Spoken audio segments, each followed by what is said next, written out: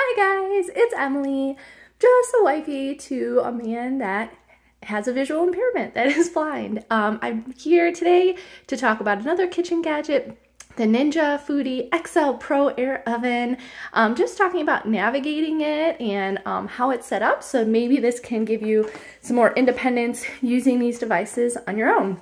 Um, so if you have unboxed your uh, XL Pro Ninja thing, um, the handle will open up to the front and the top. Do make sure that uh, you check that you get all the plastics. There were some pieces that were actually like on the glass front of the device.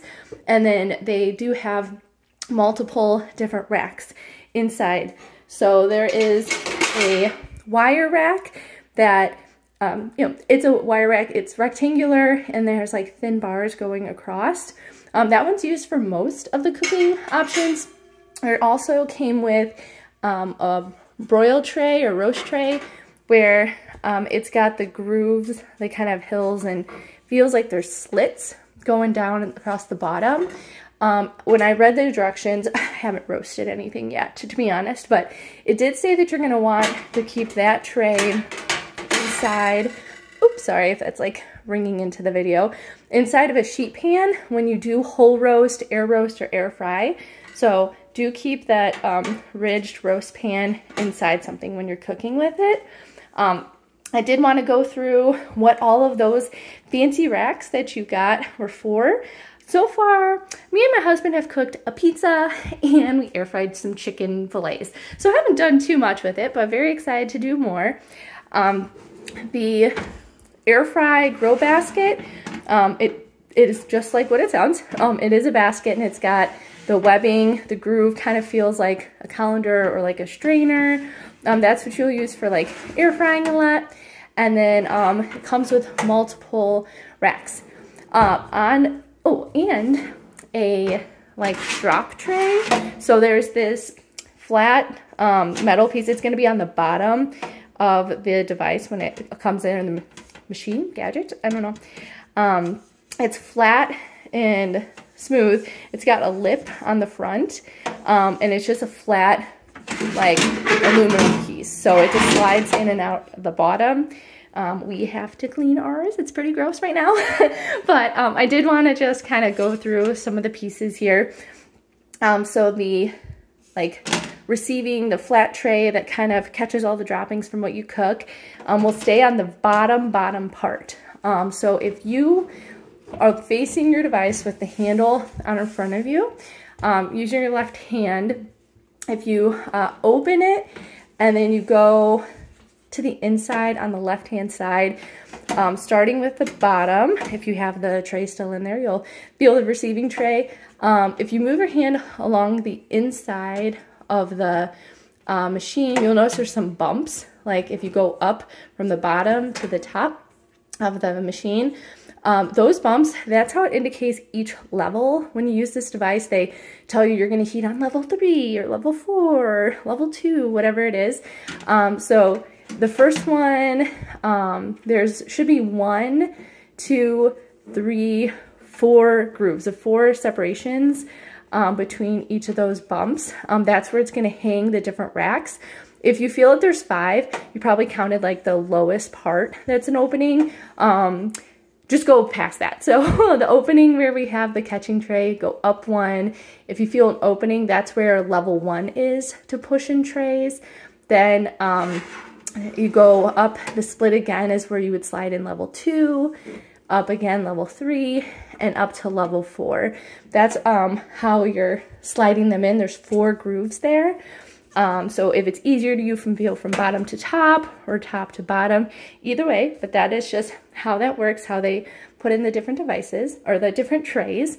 Um, so I'm gonna close mine now and we're going to talk about the buttons on the front. Um, this is where I think like creating more independence is helpful. So many things are moving to this beautiful little like, oh, touch screen and digital panel, but like you can't feel the difference between temperature and time when it's just a screen. Uh, so I'll try to help along with that. So if you've closed your oven, um, and I guess starting with your left hand. If you move it around the outside, the front of the handle, you're gonna come across a button. Um, it's a circular button. Um, you'll feel it's a little different. If you push that, that's on and off for the whole oven. That's the on off button on your left hand side. And then um, if you keep moving your hand across, there's gonna be a very smooth screen. That's actually where the light up of the screen and the temperature and time, everything shows um, there. You'll come across to more on the right hand side. Um, you're going to come to two buttons. They're actually in a column, one above the other. Um, there's actually going to be a set of four columns of buttons. Um, and then there's going to be one singular button on the right hand side of the handle. So once again, we're talking about the handle on the front of the oven. Um, on your right hand side, if you go from the right and move your hand across the front of the handle, you're gonna hit a button, that's your start stop, and then you're gonna go across these four columns of buttons. There's two buttons in each column and so forth. So whichever way, if you're more left hand or right hand or whatever makes it easier, um, I am going to be talking about going from left to right. So if you move your, you take your hand left hand on the side of the handle, um, move it across. You'll first hit the power button. And then if you slide it across, you're gonna come to first set of column of um, buttons, one on top of the other. That um, first top button is gonna be saying level two button, and then the button below it is the light button. So if you turn the light button, it turns on the light in the oven. Awesome. Um, if you turn that off, then if you uh, push the level two button, um, that's actually changing the rack level. So for each of the directions and different settings on here, they have different recommended rack levels that they'll cook at. Um, and from what I've read in the directions, whatever rack level is heated up or lit up, that's the one that is going to be in use. So you want to make sure that you push your button um, push the rack level button to differentiate um, or you know you can kind of wing it and go rogue and just see what happens with your food if you want. But just so you know that first set of column the top button is going to be level two the bottom button is the light button. So top is level two button bottom is the light button. The next column going from left to right is the function button. The function button the top one is positive or going up and the bottom one is negative or it's function down. Um, on the screen, the functions are whole roast, air roast, air fry, bake, dehydrate, broil, toast, bagel, pizza, reheat. That's the order of the functions. So when I first um, opened up and started our oven, it started on whole roast. Um, but when I've opened it today or turned it on today, it's defaulted on air fry. So that's one thing I will say. Um, depending on what are you last used, I'm wondering if that's how the machine defaults to it. Um, so do be cautious of that because I know it's easier like, hey, if I always know what it starts at, I can move it down. Um, but I have noticed that ours will go back to whatever we previously cooked on. So if we previously cooked on air fry, it's starting back on air fry. So keep that in mind. But um, if we're to go through, oh, I'll, I'll keep talking about the buttons and then I'll go through the settings like the time and temp for each of the functions. But so going left to right, our first column of buttons was level two in the light. Our second column of buttons was function up, function down. Our third column of buttons, the top button is, it's for time. So it's a plus sign for time, so time increase on the top and time, a negative sign for time, so time decrease on the bottom. Uh, the fourth column of buttons is temperature. So temperature up um, on the top and temperature down minus on the bottom. So that's all the buttons on the front. Oh, and then the, the last button you'll come across, there's like a singular button. That is your start stop. So to turn it, start it, to stop it. So from left to right, you'll have the power button, uh, then the level two light column, the function column, the time column, and the temp column, and then ends with start stop. So I'm gonna go through what um, the default temperature and time is for each of the functions and the rack level so you know, hey, this is where we're starting at. Now I know, do I go up by five here, down by five, because um, that's how most of the temperatures are. They, or that's how all of them are that I've seen.